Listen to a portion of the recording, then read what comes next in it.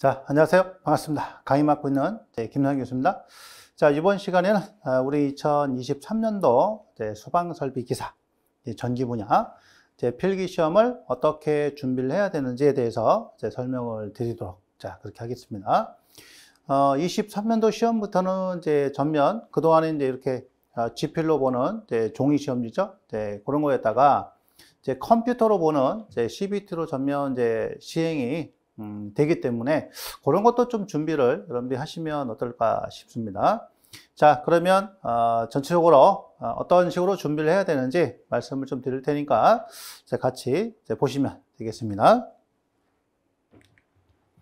자, 목차부터 이제 설명을 드리면 어, 진로 전망, 응시 자격, 그 다음에 시험 안내, 학습 순서, 합격 전략 이렇게 어, 목차로 구성이 되어 있습니다. 어, 진로 전망인데요. 큰 틀로 보면 이렇게 이제 한 세 가지 정도로 보실 수가 있겠대요. 소방시설의 설계, 시공, 감리, 점검, 안전관리 분야 아, 우리가 진출할 수 있는 것이 그래서 어, 큰 틀로 보면은 이렇게 이제 어, 다섯 가지 분야로 진출이 가능하다. 그렇죠? 그 다음에 최근에 들어서 이런데 어, 이 안전에 대한 이제 중요성이 점점점 강화되고 있기 때문에 아마 비전은 상당히 밝을 거다라고 보시면 됩니다. 그 다음에 공기업 기술직 신입이나 경력선 채용 시 자, 필수가 되는 자격증이다. 물론 승진 시에도 이제 이런 자격증이 있으면 네, 가점을 또 받을 수도 있습니다. 그 다음에 공무원 시험 시 가산점을 이제 부여를 한다. 네, 이런 것들이 자, 되겠네요. 근데 소방설비 기사를 이제 취득하는데 경력이 없는 경우에는 이제 일반 소방시설 설계업의 주인력으로 즉 소방설비기사 기사를 취득하면 이제 주 인력으로 선임이 될 수가 있다. 그래서 뭐 전기 분야를 땄다 그러면 전기 분야, 기계 분야를 땄다 그러면 기계 분야, 둘 다다 있다 그러면 전기와 기계 분야다 어, 주 인력이 될 수 있는 거죠. 그 다음에 전문 설계업의 보조 인력인데 주 인력은 이제 누가 되냐면 기술사가 되는 거죠. 주 인력은 소방 기술사가 되는 겁니다. 자, 이런 차이가 있어요. 그 다음에 공사업의 주 인력이 될 수 있고요. 관리업의 보조인력. 관리업의 주인력은 이제 누구냐? 소방시설 관리사죠. 그래서 우리가 나중에 아, 시설 관리사를 취득을 하든지 또는 기술사를 취득하시든지 이런 식으로 상위 자격증으로 올라가셔야 됩니다. 최종적으로는. 소방안전관리자, 그 다음에 위험물 안전관리 대행기관의 기술 인력으로 될 수가 있다. 이런 얘기죠. 그 다음에 산업기사, 산업기사인데 경력이 없는 경우입니다. 어, 설계업의 보조인력, 공사업의 보조인력, 시설관리업의 보조인력, 소방안전관리자 이렇게 되어 있어요. 그래서 산업기사를 취득하게 되면 이제 기사보다는 어, 이 주인력이 되는 것이 어렵죠. 그래서 어, 산업기사 취득하신 분들은 경력을 쌓아서 어, 다시 기사에 도전하는 자 이런 식으로 거쳐서 올라가야 됩니다. 여러분들이. 그러니까 산업기사에 머물러 있으면 안 되고요. 경력사로 올라가셔야 자꾸. 그 다음에 기술 자격에 따른 기술 등급의 분류인데, 자, 특급은 기술사, 관리사 5년, 그 다음에 기사 8년, 산업기사 11년. 그래서 어, 특급이 되려면은 이제 기사는 8년인데 산업기사는 11년, 3년이 더 자, 오래 걸리는 거죠. 자, 고급 시설관리사, 기사 5년, 산업기사 8년. 이것도 이제 3년 정도의 갭이 자, 생긴다고 보시면 됩니다. 그 다음에 중급 소방설비 기사를 바로 따시면 이제 바로 중급 기술자가 되고요. 산업기사는 3년 경력이 있어야 중급 기술자가 됩니다. 자 이러다 보니까 아, 우리가 이제 그 업체에서 자 필요한 기술 등급이 있을 거 아니에요, 그죠? 그러면 그런 것들을 갖다가 맞추려면 어, 산업기사보다는 기사가 좋죠. 어쨌든 간에 자 기사 따면 바로 중급이 되니까 자, 초급. 산업기사 있으면 초급 기술자가 됩니다. 여기서 3년 경력을 쌓으면 중급이 되고 기사 따면 바로 중급이 되죠. 이런 이제 차이가 있어요. 경력에. 자, 그렇기 때문에 산업기사를 도전하신 분은 반드시 경력을 쌓아서 기사를 응시를 해서 기사를 취득하는 것이 여러모로 빠르게 갈 수가 있다라는 거죠. 그 다음에 감년의 기술 등급 자격을 갖다 보면 특급, 고급, 중급, 초급 이렇게 되어 있는데 자, 초급은 기사 따고 1년, 산업기사는 2년 이상의 실무 경력이 있어야 된다. 그래서, 어, 우리 이제 공사업에서는 이제 기사 따면 바로 중급이었잖아요. 그렇죠? 근데 감리 초급은 1년이에요. 왜냐면 감리라는 것은 이제 소방시설 공사가 어, 이 설계대로 또는 법대로 되고 있는지 확인을 갖다 하는 감독자예요. 그러다 보니까 사실은 뭐보다 공사보다도 경력을 더 요한다는 얘기죠. 이런 의미로 보시면 됩니다. 그래서 어, 경력이 있어야 초급 감리자가 되는 거예요. 자, 이렇게 돼서 쭉 올라갑니다. 그럼 자격의 연계인데 최종적인 거는 이제 소방 기술사나 시설 관리사를 여러분들이 생각하시면 되고요. 자, 산업 기사 취득하고 어, 1년 이상 경력을 쌓으면 기사 응시 가능하고요. 그 다음에 3년 이상 실무 경력, 그러면 시설관리사. 기사 취득하고 2년 이상 실무 경력이면 시설관리사 응시 자격이 됩니다. 그러니까 여기서 실무 경력이라는 것은 소방 분야의 실무 경력을 뜻하는 거죠. 소방 분야. 그 다음에 기사 따고 4년 이상 경력이면 이제 기술사 이렇게 됩니다. 물론 이제 산업기사도 일정 이상의 경력이 있으면 기술사 응시가 가능하죠. 그래서 이렇게 이제 단계적으로 어, 연계가 되기 때문에 그런 것도 참조해 보시고요. 여러분들이 산업 기사든 기사든 자 이걸 취득하면 최종적인 목표는 기술사나 시설 관리사가 되어야 된다는 거죠. 거기까지 목표를 잡고 여러분들이 준비를 하시면 좋겠습니다. 자, 응시 자격인데요. 응시 자격 확인은 이제 큐넷에서 하시면 되고요. 어, 소방설비 기사 또는 소방설비 산업기사 이렇게 응시자기를 검색하시면 나오고 그 다음에 분야가 어떻게 됐냐면 전기 분야와 분야가 전기 분야와 기계 분야 이렇게 구분이 된다라고 보시면 됩니다. 이렇게. 자, 그럼 기사 같은 경우는 이제 산업기사 1년, 기능사 3년이요. 자, 이 기능사는 아무 기능사나 있으면 됩니다. 자, 3년. 그 다음에 유사 직무 분야 또는 동일 분야 기사 등급 이상. 관련 학과 졸업자, 졸업 예정자, 3년제 어, 전문대학 졸업자 플러스 1년 경력, 그래서 4년을 맞추는 거죠. 그 다음에 2년제, 예, 경력 2년 이상. 그 다음에 기술훈련 과정 이수자, 이수 예정자. 그리고 산업기사 기술훈련 과정 이수자 플러스 2년 경력. 그 다음에 아무것도 없으면 4년 이상 실무 경력. 그 다음에 외국에서 자격증을 취득한 사람.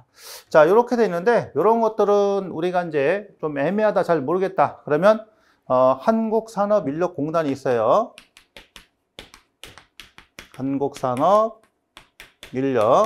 자 공단 여기에 어, 전화를 하셔서 어, 내가 시험을 볼 수 있는지 없는지 이 소방설비 기사를 볼 수 있는지 없는지를 네, 물어보시면 됩니다. 자, 그러면 바로 확인을 할 수가 있어요.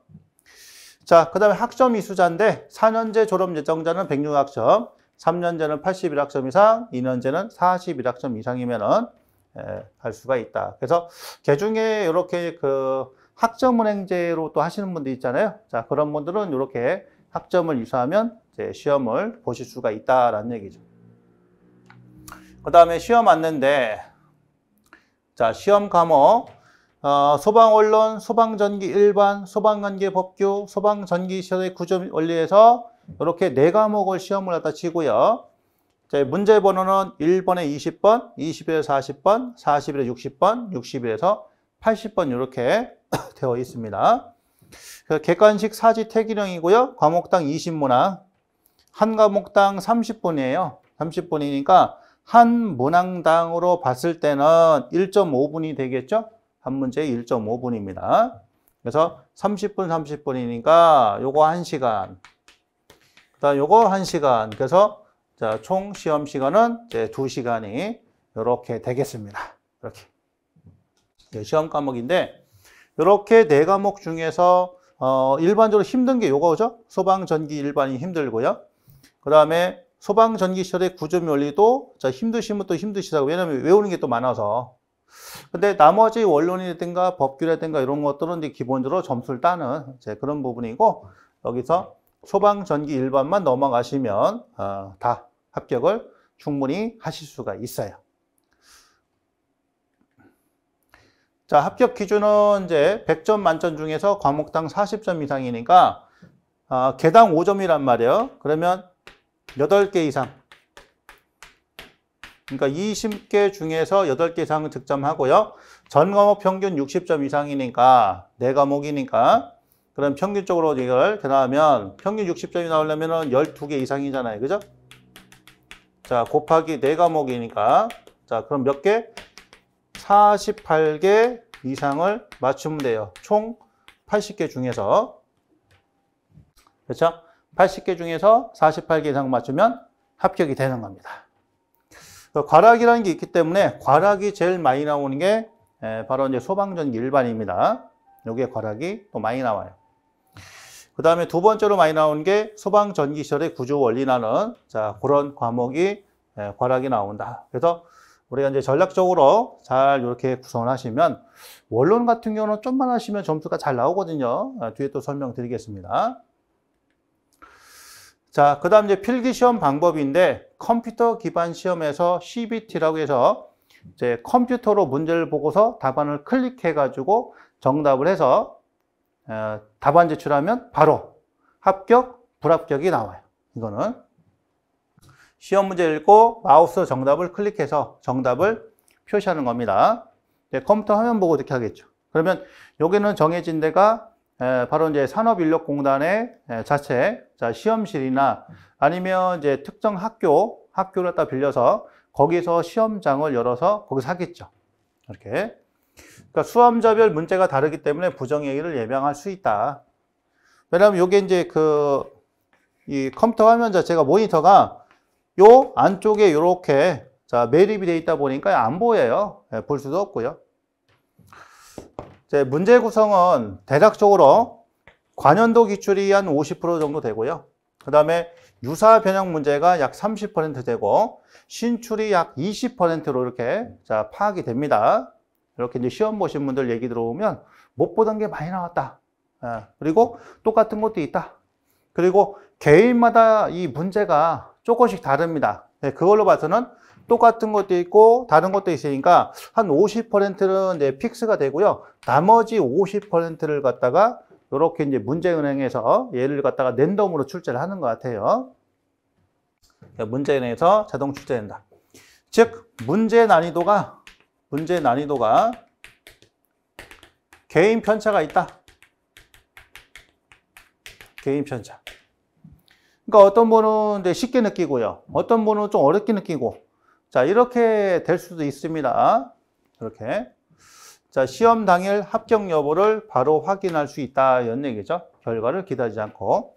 그 대신에 요게 이제 그 시험일 자체가 그동안에는 이제 딱 정해져 있었잖아요. 그죠? 시험일. 그러면 거기에 접수해가지고 가서 이렇게 이제 종이에다가 체크해서 OMR 카드 마킹해가지고 제출하면 한참 뒤에 이제 발표가 났는데 어, CBT 같은 경우는 이제 시험 기간이 약 2주 정도 됩니다. 길게는 한 3주 정도도 되는 경우도 있는데 약 2주 정도. 그러면 요 2주 동안에 내가 날짜를 선택을 하는 거예요. 날짜를 선택하고 그 다음에 시험 시간도 시험 시간도 1부, 2부, 3부, 4부 쭉 돼 있어요. 그러면 거기서 언제 시험 볼 건지 선택을 또 할 수가 있습니다. 그러면 또 이렇게죠. 그럼 요거 선택하고 다른 날 선택해도 되느냐? 안 돼요. 그러니까 요 기간 중에 하루를 선택해서 그 중에 어떤 시간대를 볼 거냐. 그죠? 즉, 기회가 한 사람당 한 번뿐이다. 이건 똑같은 거죠. 공정성 때문에. 이렇게 해서 선택을 해가지고 시험을 보실 수가 있다라는 겁니다.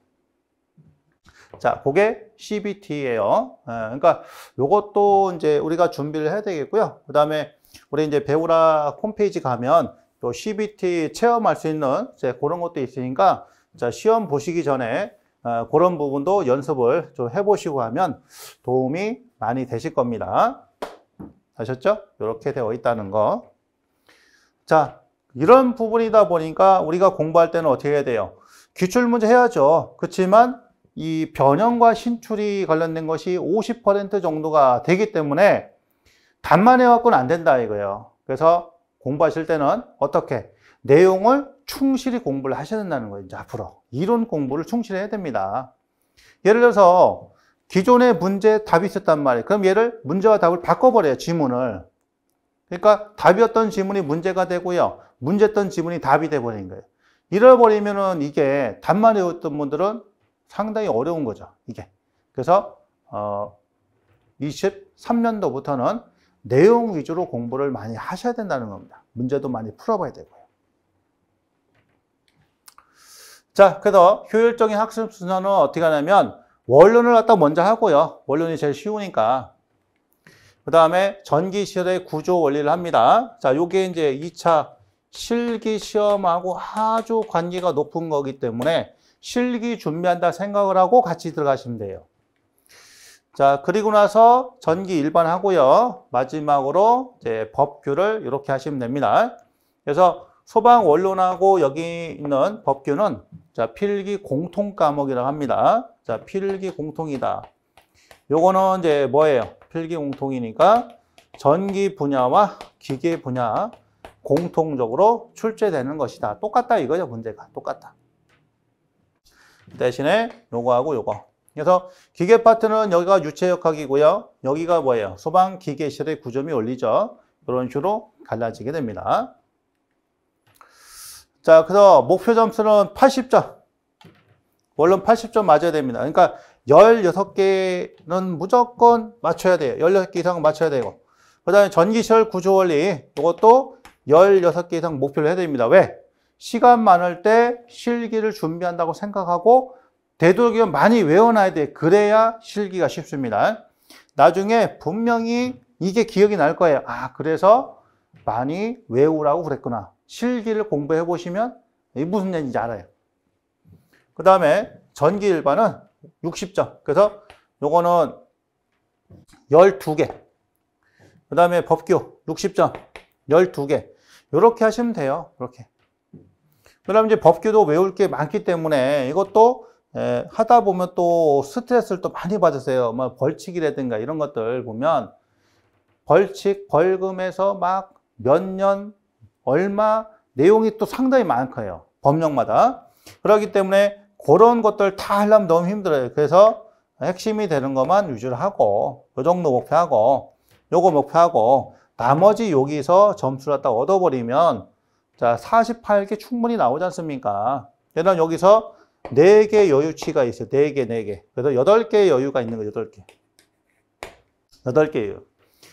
자, 그래서 결과에 미달이 되더라도 마이너스 2개, 마이너스 2개, 마이너스 2개, 마이너스 2개가 된다 할지라도 합격이 되는 거죠. 48개로. 그렇죠? 그래서 이게 가장 효율적인 그런 아, 목표 점수가 됩니다.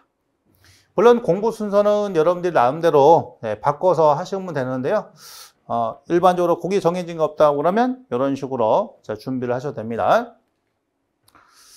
자, 실기와 관련된 게 이 두 개예요. 그래서 어, 소방전기 일반도 제가 이론 수업하면서 아, 요건 실기에 나옵니다. 이런 것들은 여러분들이 자, 따로 체크를 해 놓으셔서 어, 강조를 또 해놓으시면 됩니다. 아, 요거 실기에도 출제가 되는구나. 이런 식으로. 자, 배우라 합격 전략은요. 자, 비전공자. 비전공자는 이제 기초 강의 들으시고, 그 다음에 입문 강의가 있어요. 자, 기본 이론이 있고요. 기출문제, 파이널. 이렇게 순서가 되어 있습니다. 기초 강의, 입문 강의, 기본 이론, 기출문제, 파이널 강의. 그래서 요거를 자, 반드시 여러분들이 기억을 하셔야 됩니다. 자, 이렇게 되어 있고요. 그 다음에 기초 강의는 기초 수학 소방 용어가 있고 기본 이론은 최소한 다섯 번은 돌아가야 됩니다. 5회도. 그 다음에 기출문제는 5년치를 5회도. 그래서 최소 다섯 번이에요. 5년치를 아, 갖다가 5회도. 5년치니까 1년에 3회잖아요. 그러면 이게 15회차를 갖다 보는 겁니다. 15회차. 자, 그리고 final 강의, 이거는 이제 과목별 이제 100문제씩 이렇게 이제 구성이 되어 있습니다. 자, 많이 나오는 거죠. 그러니까 그동안에 출제가 많이 됐던 거를 모아놓은 자, 그게 final 강의예요. 그 다음에 전공자. 아, 전공자는 기본 이름부터 들어가고요. 기출문제, 파이널 이렇게 순서로 학습하시면 됩니다. 그래서 기본 이론은 이제 세 번, 그 다음에 기출 문제는 5년치 5회, 자, 그리고 광업별 백제. 이렇게 되어 있어요. 그래서 전공자니까 기본 1회는 어, 한세 번 정도 하면 되는데 그래도 안 된다 그러면 네 번 하고 안 된다 다섯 번 하고 안 된다 열 번 하고 그래도 안 되면 스무 번 하시고 반복하는 거에 될 때까지 하는 겁니다. 어? 될 때까지. 우리가 한두 번 봐가지고 이거를 다 한다. 그럼 천재게요. 어. 그 당연한 겁니다. 왜냐면 그동안에 공부한 지 오래됐기 때문에. 그리고 나이가 좀 있으신 분들은 기억력이 다 떨어져요. 잘 안 돌아갑니다. 저도 그래. 기억력이 많이 떨어져서 예전에 20, 30대 한두 번 봤던 거는 지금 다섯 번, 여섯 번 봐야 돼요. 자꾸 봐야 됩니다. 그래야지 기억이 돼요. 그래요. 자, 그 다음에 마지막으로 필승 합격 전략. 어떻게 해야 될 거냐. 기출 문제를 분석해라. 그동안에 많이 나왔던 게 뭐냐 이거예요. 핵심만 집중하자. 다 할 수는 없는 거죠. 100점 맞으려고 하면 떨어집니다. 그래서 어, 앞쪽에서 제가 목표 점수 제시한 게 있어요. 자, 그거를 어, 도달할 수 있도록 거기에 맞춰가지고 준비를 하시면 됩니다. 그러니까 공부를 하다가 어려운 게 있고 쉬운 게 있을 겁니다. 어려운 거는 어려운 거 중에서 잘 나오는 거와 안 나오는 게 있겠죠. 잘 안 나오는 거. 잘 안 나온 건 당연히 버리고 잘 나온다 할지라도 내가 감당할 수 없다 그러면 버리는 거예요. 아니면 그거는 답을 외우는 겁니다. 그런 식으로 접근을 하셔야 돼요. 자, 공부는 네, 서술형, 그 다음에 계산 문제 이렇게 하고요. 서술형은 쉬운 거, 어려운 거. 계산 문제는 쉬운 거, 어려운 거는 되도록 답을 외우는 게 좋다. 제가 말씀드렸잖아요. 어려운 건데 잘 나와. 근데 못 풀겠어. 답을 외워요. 어려운 건데 잘 안 나와. 잘 안 나와. 그러면 이거는 넘어가는 겁니다. 그래서 요 교재에 보면 이런 식으로 별이 다섯 개짜리가 있고요. 음. 자, 별이 많은 게 있고 별이 작은 게 있어. 다섯 개씩 해놨나? 세 개씩 해놨나? 이게 이렇게. 자, 별 세 개짜리, 두 개짜리, 하나짜리 이렇게 이렇게 됐나 보네요. 세 개짜리다. 3, 2, 1이다 그러면 세 개짜리 중요한 거죠. 그리고 옆에 출제 연도가 딱 표시되어 있어. 출제 연도가 많이 되어 있으면 아, 요거 중요한 거구나. 그 다음에 두 개짜리, 하나짜리 이렇게 돼 있단 말이에요. 자, 별 세 개, 두 개, 하나. 그러면 별 세 개짜리가 중요한 거죠. 그러니까 문제 풀 때도 별 세 개 위주로 먼저 보고 다 본 다음에 이제 두 개짜리 그리고 마지막에 하나짜리 이렇게 하는 거예요. 자, 그 다음에 오답 노트라는 것은 이제 내가 문제를 풀면서 실수했던 거, 그 다음에 어, 잘못 외웠던 거, 그리고 찍어서 맞춘 거, 이런 것들이죠. 그런 것들. 실수하는 거. 그런 것들을 적어가지고 체크를 하시라는 얘기예요. 공식을 잘못 외웠다거나, 단위를 갖다 잘못했다거나, 이런 것도 있을 거 아닙니까? 자, 매일 공부. 하루에 두세 시간만 하면 돼요. 매일 공부하면 되는데. 자, 그러면 주 6일은 이제 공부하고요. 주 1일은 이제 휴식을 하면 되는데, 휴식은 단 평일에 하셔야 됩니다. 평일에. 주말은 공부해야 돼. 주말은. 합격하시려면 주말에 공부하고요. 어, 평일에 하루 쉽니다. 그래서 6일 공부하고 하루 쉬고 이렇게 하셔야 그 대신에 두세 시간. 근데 오늘 일이 있어가지고 공부를 못했다. 그러면 그 다음날 4시간 해야 됩니다. 못했던 거를 채워야 돼요. 근데 제일 중요한 거는 매일 공부하는 게 가장 중요하다. 이런 얘기죠. 그리고 할 수 있다는 자신감을 갖자. 이게 중요한 겁니다. 다 할 수 있어요. 야, 저거를 어떻게 하지? 어떻게 외우지? 저 복잡한 거를. 한 번, 두 번, 세 번 할 땐 잘 모르죠. 근데 횟수가 반복함에 따라서 요령이 생겨요. 자, 그러다 보니까 할 수 있다는 생각이 들죠. 그 자신감이 중요합니다. 자투리 시간. 우리가 커피 먹거나, 그 다음에 드라마 본다거나, 유튜브 본다거나, 화장실 갔다거나, 이런 시간을 다 합쳐도 충분히 나옵니다. 시간. 요점 정리. 노트, 필독, 밤독, 학습. 자, 이거는 뭐냐면 강의를 들으시면서요. 중요하다고 말씀드렸던 거. 제가 이제 수업하면서 이거 중요합니다. 이거는 그래도 어려운데 조금 그렇고 이거는 답을 외우셔도 되고 이런 거 체크할 겁니다. 그래서 반드시 외워야 될 거는 여러분들이 노트를 만드세요. 노트를 만들어서 그거 가지고 반복전하는 거예요. 노트를 만들든지 아니면 태블릿 활용하실 분들은 태블릿 써가지고 그거 활용하시든지 그래서 반복 학습하고 모르는 것도 서너 번 하면 된다. 서너 번 안 되면 대여섯 번 하고 안 되면 일곱 여덟 번 하고 될 때까지 하는 겁니다. 어? 될 때까지.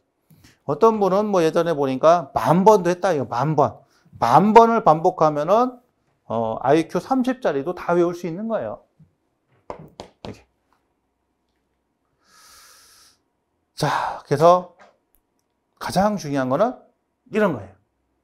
자신감. 그리고 안 된다고 포기하지 말고 반복해서 하면 된다. 그래야지 합격이 됩니다. 그러니까 여러분들, 어, 항상 절박할 때 우리가 무엇을 갖다 하게 돼요. 지금 이제 공부를 했다는 것도 지금보다 나은 환경을 살기 위해서, 나은 삶을 살기 위해서. 그렇죠? 공부하시는 겁니다. 그 적어도 내가 이것저것 안 따지고 먹고 싶은 거 먹고 사고 싶은 거 사고 자 그걸 할 것 같으면 지금보다 더 나은 삶을 살야겠죠. 그렇다고 자격증을 따다고 해서 엄청 삶이 뭐 풍족해지나 그렇진 않지만 얘를 땀으로 해서 지금보다 나아질 거란 말이죠. 이제 그거를 생각하시면서 여러분들이 최선을 다해서 하셨으면 좋겠어요. 그냥 한번 해볼까 이게 아니라 자 이거를 밑거름 삼아서 점점 높은 자격증으로 올라가야 됩니다. 자 그러면 여러분들 삶이 바뀌어요. 아셨죠? 자 그러면 여기서 마무리하고요. 나머지는 이제 본 강의 때 뵙도록 하겠습니다. 자 고생 많으셨습니다.